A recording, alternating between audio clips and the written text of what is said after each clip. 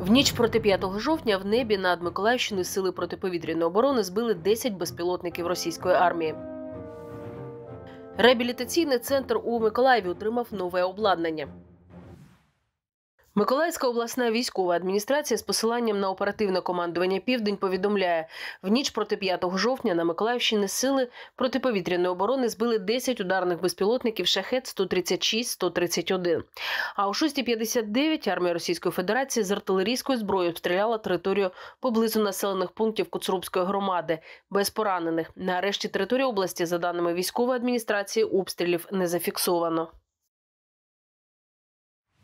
Мати п'ятирічної Марії Оксана говорить, що почали заняття минулого тижня. Працюємо на системі павук, бачимо результати. Тобто дитина вже почала більше активна е, в ножках, в ручках. Нам подобається, вона сміється. Систему Павук, центр комплексної реабілітації для дітей з інвалідністю Мрія, отримав нещодавно, у вересні 2023 року, говорить завідувачка відділення Оксана Рибенчук. Система вітчизняного виробництва коштує близько 80 тисяч євро.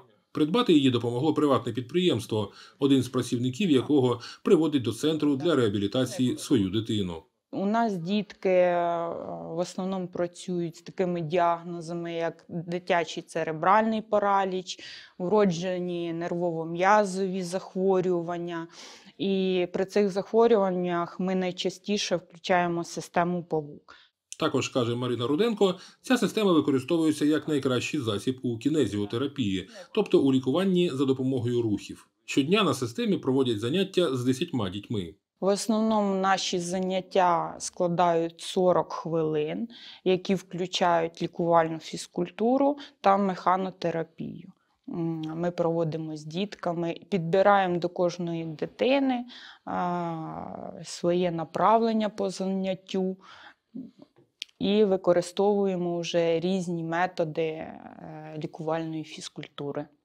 Оксана Рибінчук говорить, що з початку 2023 року повний курс реабілітації у центрі пройшла 321 дитина. Курс може тривати від трьох місяців до року. Щодня приймають до 100 дітей. Батько чотирирічної Олі Анатолій розповів, що відвідують центр близько двох місяців. Погано говорила вона. Ну, це почали ходити, то вже в нас проявилися деякі слова, пішли у луч покращення, подобається їй. Е, З улипкою навіть збирається це зранку. Да? Щось тільки за, зараз трошки щось стісняється. Да? До повномасштабної війни колектив центру складався з 60 фахівців. Нині їх удвічі менше, але обмежень щодо прийому дітей на реабілітацію немає, говорить Оксана Рибенчук. Працюють лікарі, реабілітологи, педагоги, логопеди. Музичні заняття теж допомагають. Приймають за направленням лікарів і дітей з інвалідністю, і тих, хто у групі ризику, тобто потребують реабілітації, щоб уникнути ускладнень хвороби. Групи формуються не за напрямками хвороб чи вад, лише за віком. Це наше, мабуть, е, головна, е, головне завдання в реабілітаційному процесі навчити дітей спілкуватися, навчити приймати один одного, е, відноситись толерантно один до одного. І дітки бачать відношення дорослих, ті, які працюють з ними. І я думаю, що це теж слугує таким прикладом, що, хоч ми і всі різні, але ми вміємо спілкуватися, ми вміємо разом гратись, ми разом вміємо е, досягати цілей. Крім дітей з Миколаєва та області, допомагають і внутрішньо переміщеним особам з інших регіонів України. Оксана Рибанчук каже, що за підсумками 2021 року реабілітацію пройшли семеро дітей зі статусом ВПО. У 2022 – 58. Федір Бондар, Суспільне новини, Миколаїв.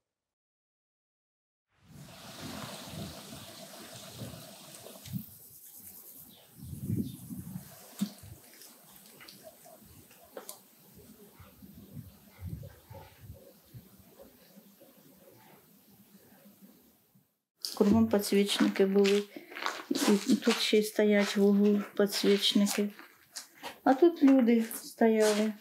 Кругом було все в коврах, все в іконах, все в рушниках. Ну, хороша була церква.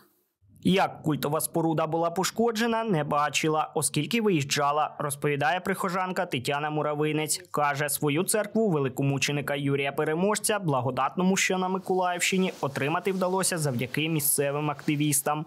Тут був е, садок дитячий. Ну, самі бачите, будівля здорова така. А коли дітей вже стало менше, то їх е, садик перевели у школу. То тоді почали тут робити ну, церкву. Перша служба була 21 листопада 99-го року. Згадує богослужіння.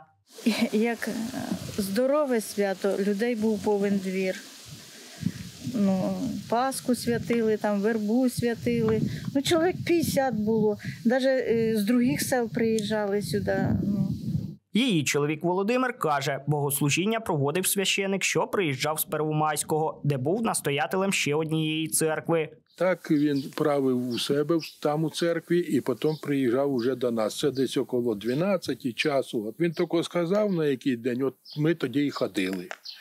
А щоб так часто, то раз у неділю, два рази в неділю. Нині подружжя час від часу їздить в Снігурівську церкву і сподівається на відновлення своєї в благодатному. Перших пошкоджень церква зазнала орієнтовно наприкінці квітня, на початку травня 2022-го, Повідомив кореспондентам Суспільного її колишній настоятель Віталій Герда. Оглянути споруду вдалося вже після припинення бойових дій на території Первомайської селищної громади в листопаді 2022-го.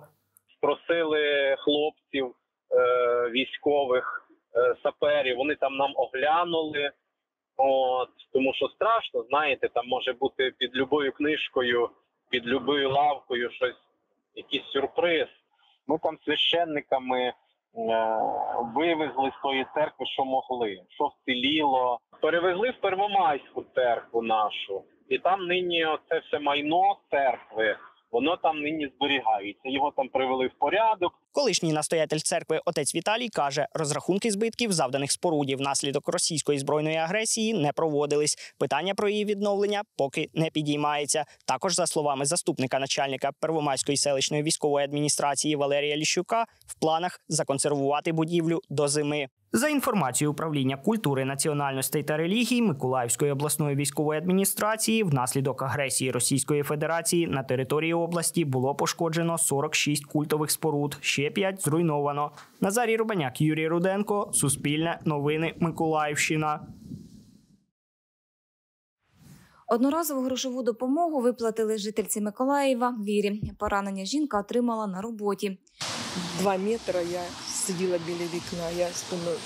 І коли пройшов цей вибух, то е, склом мене посікло в голову. Е, Я одразу почула, що таке тепле тече. Не, до- не, не, до цього було мені. Я стала збирати речі після цього ну, і вся, ну, в общем, состояние було, ну я не можу вам передати. Я не могла розуміти, що це могло произойти, ну, произойти. Виписавшись з лікарні, Віра подала заяву на грошову допомогу. Говорить, ніяких проблем не виникло. Отримала 5,5 тисяч гривень компенсації. У мене три довідки були з лікарні, і я віддавала, і на, на, на основанні цього я отримала. Аби отримати гроші, треба звернутись до районних управлінь соцзахисту або до департаменту праці та надати необхідні документи, говорить заступниця директора департаменту праці та соцзахисту населення Миколаївської міської ради Надія Скопенко. написати заяву, додати до заяви паспорт, ідентифікаційний код, розрахунковий рахунок, на який буде перераховано кошти, та медичну довідку щодо підтвердження проходження лікування. Далі збираються всі заяви, засідає комісія, до складу якої входять лікарі. Члени комісії розглядають матеріали та пропонують виконкому розмір компенсації на оздоровлення, говорить Надія Скопенко. Лікарі вони дивляться складність поранень, і до 10 тисяч гривень це можлива допомога. Залежить від складності поранення. Мають право звернутися і люди, які мали статус внутрішньопереміщених осіб і зазнали обстрілів, але е, були на території міста Миколаєва поранені та до поранення зареєстровані як внутрішньо переміщені особи. За словами Надії Скопенко, понад 700 людей зазнали поранень. З них більше 400 – жителі Миколаєва. Інші лікувались на території, але отримали поранення в інших районах Миколаївської області. За словами Надії Скопенко, в органах соцзахисту населення триває прийом документів щодо компенсації жителя Миколаєва, чиї рідні загинули під час обстрілів міста. На одного загиблого виплачується 20 тисяч гривень. Ніна Булах, Юрій Руденко, Суспільне новини, Миколаїв.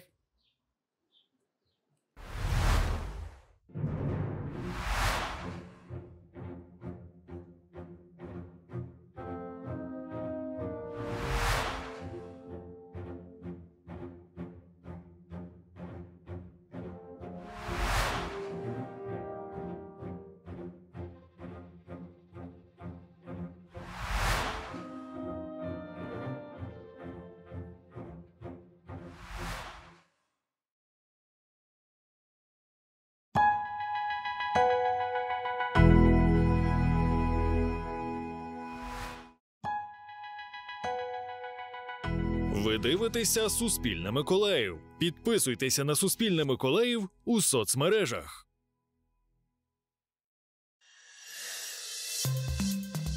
У чому наша суперсила? Українці е, цю рису мають просто від народження. Якщо нею правильно навчитись користуватися, то можна буде досягти чого завгодно. Що таке соціальні стереотипи? Завжди є факти, яких ви, можливо, не хочете помічати. Хто такі тролі і боти? Вони можуть створювати 100 дописів за годину, що не властиво людині. Як із ними боротися? Та як споживати інформацію під час війни? Кілька лайфхаків під час всеукраїнського уроку єдності. 6 жовтня у п'ятницю на усіх місцевих каналах Суспільного мовлення.